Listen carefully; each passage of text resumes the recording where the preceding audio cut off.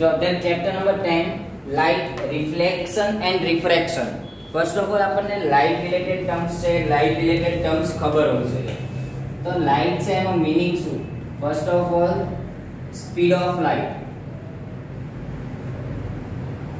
કે લાઇટ છે એની સ્પીડ કેટલી છે તો લાઇટ છે એની speed always 3 into 10 raised to 8 meter per second it means per second એ આટલા મીટર છે શું કરે છે? લાઇટ છે કવર કરે છે.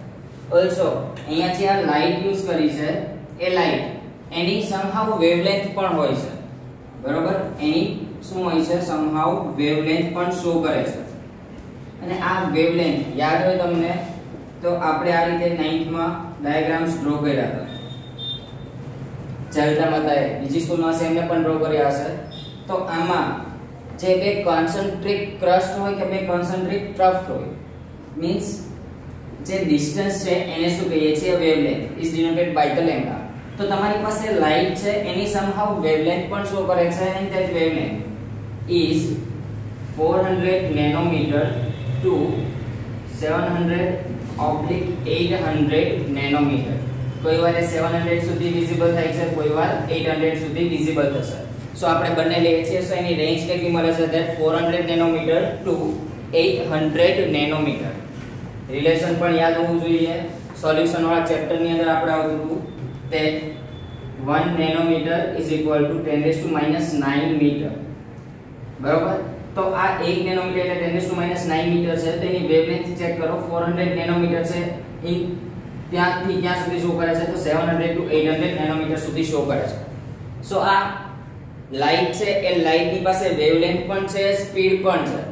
અને વેવલેન્થ એન્ડ સ્પીડ બંને છે એટલા માટે ઈઝીલી મીડિયમ કોઈ પણ હોય એની અંદર એ પાસ થાય છે. અને પાસ થાય છે એટલા માટે એનો પાથ છે એ આપણને પાથ પણ વિઝિબલ કરે છે. સેકન્ડ થિંગ આપણી પાસે છે reflection and refraction so first of all reflection no meaning શું થાય? તો તમારી પાસે એક સરફેસ છે અને સરફેસ કેવી છે? રિફ્લેક્ટિંગ સરફેસ છે. આ જે સરફેસ છે સરફેસ કઈ છે? રિફ્લેક્ટિંગ સરફેસ હવે જો એક ટર્મ યાદ રાખજો કે જે જગ્યાએ કોઈ લાઈન ડ્રો કરીને પછી આ રીતે એરોસ કર્યા હોય અથવા તો આ રીતે લાઈન ડ્રો કરી હશે. ઇટ મીન્સ ધેટ કે એની ઉપરની જે કોઈ સરફેસ છે રિફ્લેક્ટિંગ છે, પાછળ એનો તમે કોટિંગ કરી દીધું છે. કોટિંગ કરી દેવું ઇટ મીન્સ કે એને કોઈ કલર કમ્પોનન્ટ્સથી શું કરી દીધું છે? તો ફિક્સ્ડ કરી દીધું છે, અથવા તો સિલ્વરથી એને ફિક્સ કરી દીધું છે. એટલા માટે આપણને જે એનો આગળનો પોર્શન છે ગ્લાસનો એ ક્લાસનો આગળનો પોર્શન મિરર જેવો ફોર્મ થાય.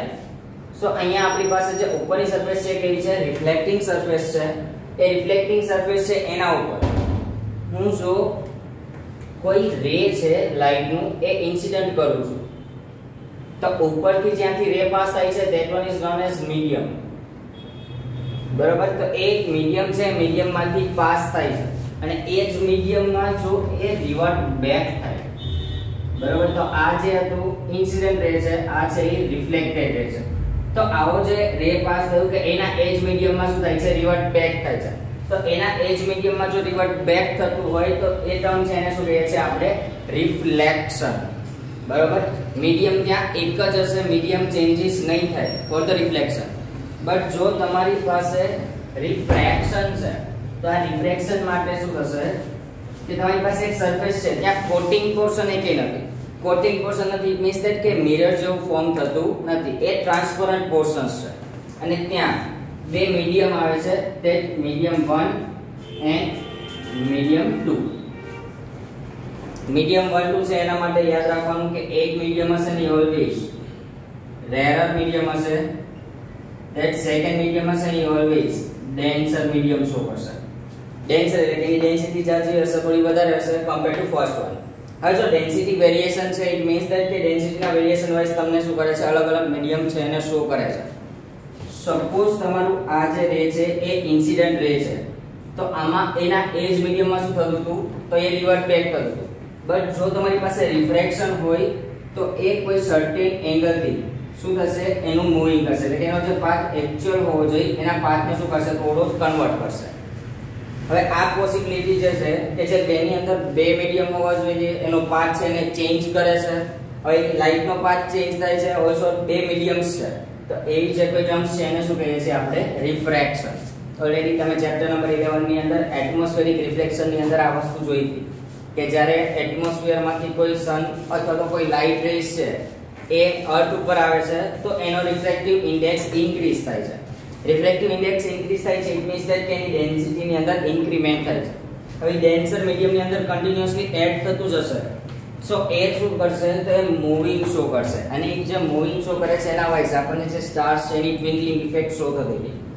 તો આ અબાઉટ ધ બેઝિક નોલેજ છે for the light reflection and refraction તો આ ત્રણે ત્રણ ટર્મ છે, એનું આ બેઝિક નોલેજ છે.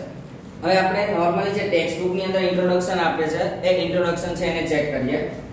તો જો ટેક્સ્ટ બુકની અંદર ચેપ્ટર નંબર 10 પેજ નંબર 160 160 તેમાં chapter number 10 light reflection and refraction જો એમાં we see a variety of object in the world around us એટલે કે આપણે આજુબાજુમાં, આપણી બાજુમાં જેટલી પણ ઓબ્જેક્ટ છે, બધી જ વસ્તુઓને જોઈ શકીએ છીએ.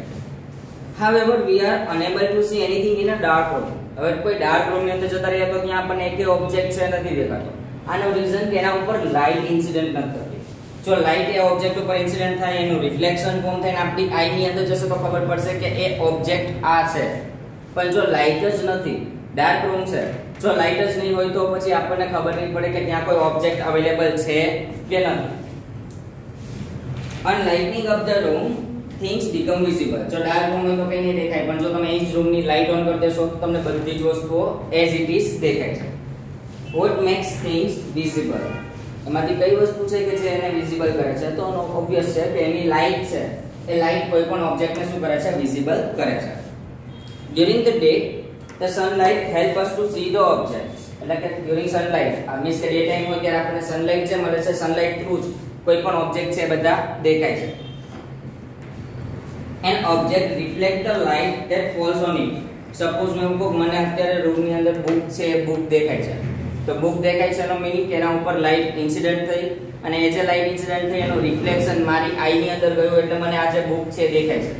બટ આ જ બુકને હું ડાર્ક રૂમની અંદર મૂકી દઈશ તો પછી મને નહીં ખબર પડે કે અહીંયા બુક છે કે નથી. બરોબર? બીકોઝ એના ઉપર કોઈ લાઇટ નથી પડી જો લાઇટ પડશે તો જ એનું રિફ્લેક્શન થશે અને તો જ આપણને કોઈ ઓબ્જેક્ટ છે દેખાય છે.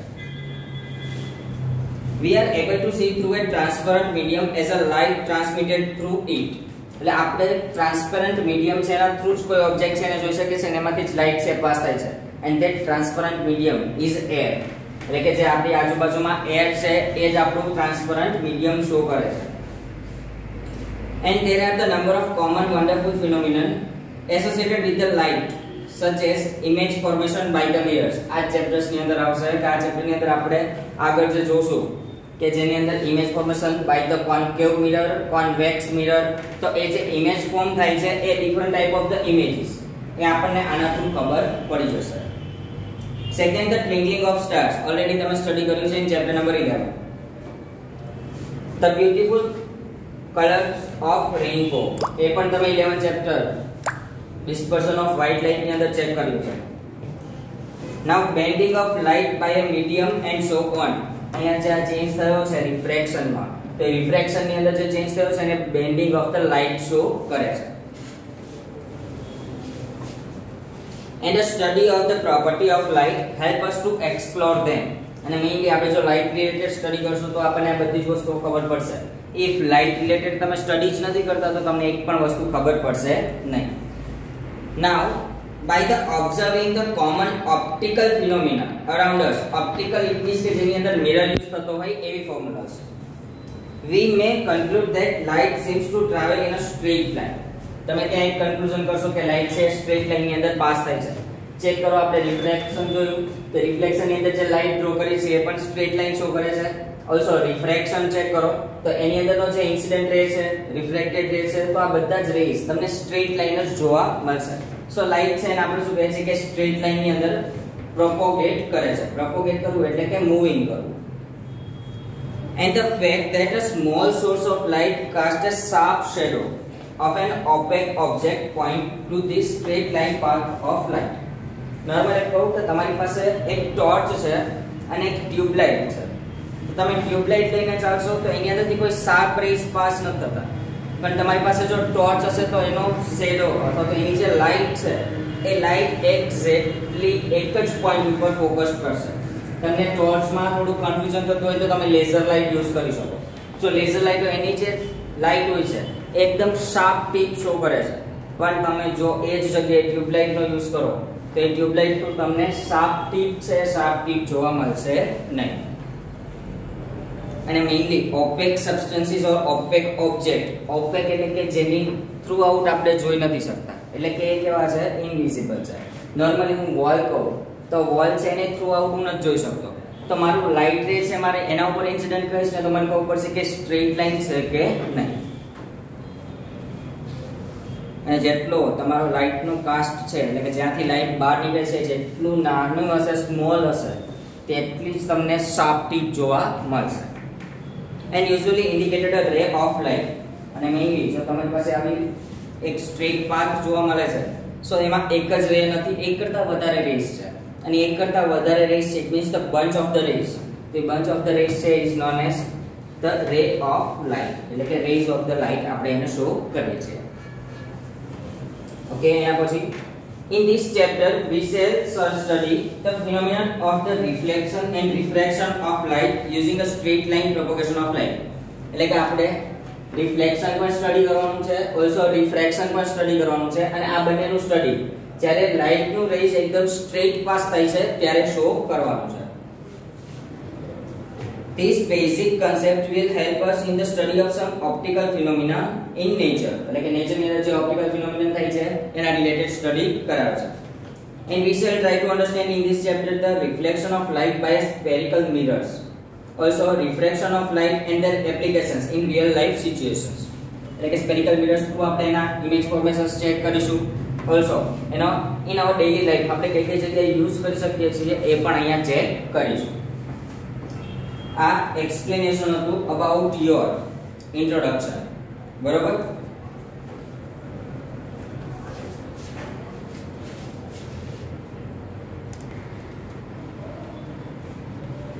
સો એના પછીનો નેક્સ્ટ ક્વેશ્ચન આપણી પાસે હતો that explain with suitable diagram that law of reflection totally two type of the laws આપણી પાસે પ્રેઝન્ટ છે. ફોર ધ લો ઓફ રિફ્લેક્શનની અંદર. એની ડાયાગ્રામ ટેક્સ્ટ બુકમાં નથી. એમાં એક છે આપણે રિફ્લેક્ટિંગ સરફેસ ડ્રો કરી છે.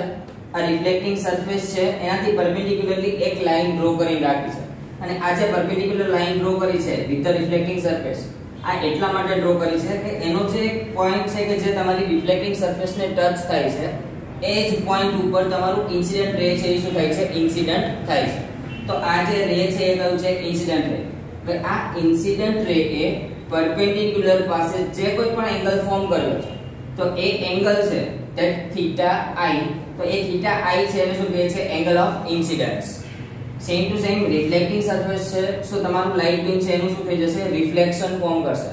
અને આ રિફ્લેક્શન જે ફોર્મ કરે છે that ray is known as reflect reflected ray અને આ જે રિફ્લેક્ટેડ રે છે, એને જે તમારા પરપેન્ડિક્યુલર પાસે જે એંગલ ફોર્મ કર્યો છે અહીંયા, તો that angle is known as theta r.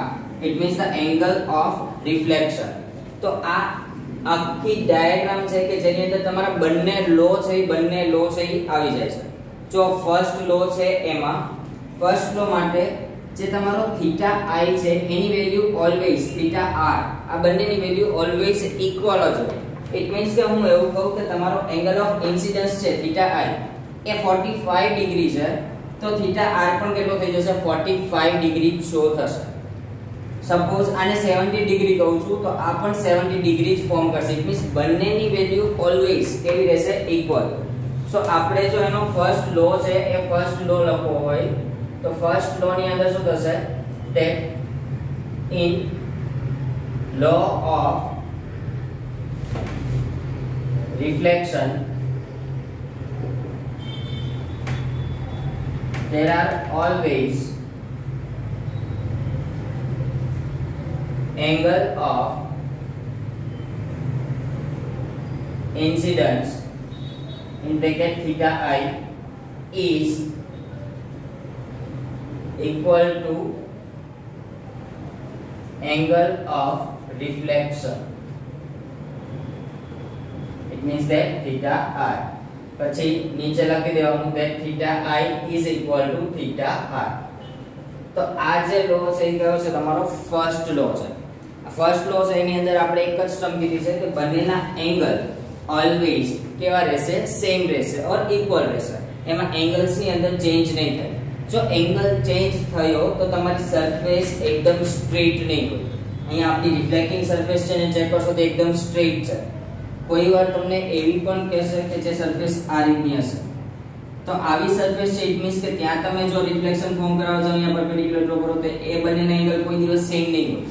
તો તમારી જે સરફેસ છે, એ સરફેસ કેવી હોવી જોઈએ સ્ટ્રેટ હોવી જોઈએ. જો સ્ટ્રેટ સરફેસ હશે, તો જેટલો ઇન્સિડન્સનો એંગલ હશે, એટલો જ રિફ્લેક્શનનો એંગલ છે એ ફોર્મ થયેલો જોવા મળશે. આફ્ટર ધેટ સેકન્ડ પોઈન્ટ અથવા તો સેકન્ડ લો હવે જો સેકન્ડ લો છે એના માટે. ચેક કરો, તમારી પાસે અહીંયા ઇન્સિડન્ટ રે છે. આ ઇન્સિડન્ટ રે પછી રિફ્લેક્ટેડ રે તો ઇન્સિડન્ટ રે રિફ્લેક્ટેડ રે આપણને ખબર છે કે એક જ મીડિયમમાં છે. બટ એનો જે નોર્મલ પોઈન્ટ છે કે જ્યાંથી angle of incidence angle of reflection form થાય છે, તે નોર્મલ પોઈન્ટ તો ત્રણ વસ્તુઓ છે તમારી પાસે. એક ઇન્સિડન્ટ રે થયો છે, બીજો રિફ્લેક્ટેડ રે થયો છે, અને ત્રીજું કોણ છે નોર્મલ પોઈન્ટ તો આ ત્રણેય ઓલવેઝ સિંગલ પ્લેનની અંદર જ હોય. બરાબર?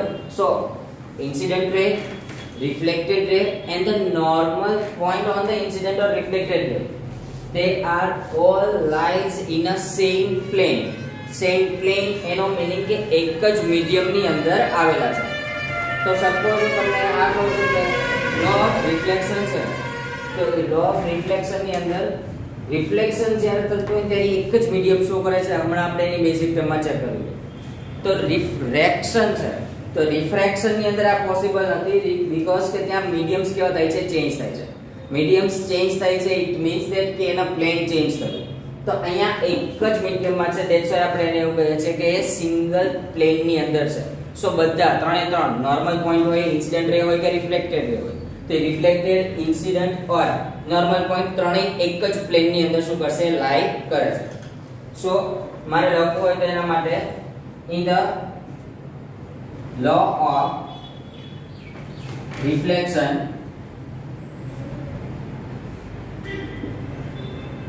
incident ray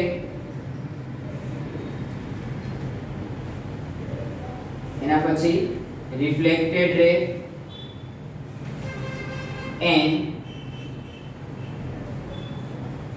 normal to the incident and reflection all are lies in a same plane. તમે સેમ પ્લેનની જગ્યાએ સિંગલ પ્લેનનો પણ યુઝ કરી શકો. બરાબર? એટલે કે ઓલવેઝ એક જ પ્લેનની અંદર શું કરે છે? લાઈ કરે છે. હવે આ બંને લો છે કે એ શું શો કરે છે? લો ઓફ રિફ્લેક્શન છે એને ફોર્મ કરે છે. અને આ ક્વેશ્ચન છે, એ ક્વેશ્ચન મોસ્ટલી 2 માર્ક્સની અંદર પૂછાય છે. બરાબર કે explain with suitable diagram about the law of reflection તો આપણને ડાયાગ્રામ ડ્રો કરવાની છે અને બંને લો છે એને લખવાના છે. હવે જો એના ટેક્સ્ટ બુકની અંદર ચેક કરો, તો ટેક્સ્ટ બુકની અંદર રિફ્લેક્શન ઓફ લાઇટ હવે reflection of light 10.1 in page number 160 A highly polished surface such as a mirror આપણી પાસે આ જે સરફેસ છે, એ સરફેસ કઈ છે? હાઈલી પોલિશ્ડ છે. અને હાઈલી પોલિશ છે ઇટ મીન્સ ધેટ કે શું શો કરે છે મિરર ફોર્મ કરે છે.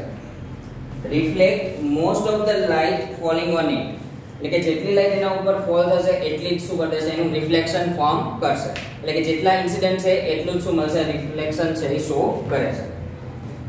And you are already familiar with the law of reflection of light જો તમે ઓલરેડી ફેમિલિયર નહોતા બીકોઝ તમારો કોર્સ ચેન્જ થઈ ગયો. બરાબર?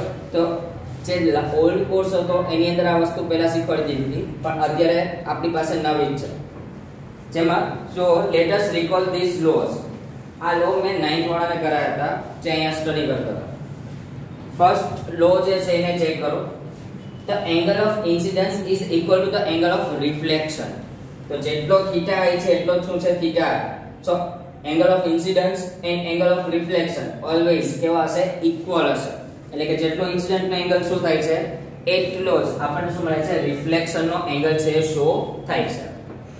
આપણે that સેકન્ડ લો છે, એને ચેક કરો. The incident ray the normal to the mirror at the point of incident and reflected ray all lie in the same plane. એટલે કે ઇન્સિડન્ટ રે છે રિફ્લેક્ટેડ રે છે and main normal point to the incident ray and reflected ray આ બધા જ એક જ પ્લેનની અંદર હોય છે, અથવા તો સેમ પ્લેનની અંદર જ લાઈ કરે છે. સો આ બે લો અને એની ડાયાગ્રામ આટલી વસ્તુ 2 માર્ક્સની અંદર પૂછાય છે. બરોબર? એના પછીની થિયરીઝ છે. એના પછીની થિયરીઝ આપણે નેક્સ્ટ સેશનમાં ચેક કરશું. પણ અત્યારે આ કમ્પ્લીટ લો તમને યાદ રહી જવા જોઈએ, કારણ કે આ જ લો નો આપણે યુઝ સૌથી વધારે આ જ ચેપ્ટરની અંદર થવાનો છે. બરોબર? એટલે કે જે આપણે ઇમેજ ફોર્મેશન ને બધું છે, એ ઇમેજ ફોર્મેશનમાં ને એમાં આનો સૌથી વધુ યુઝ થવાનો છે.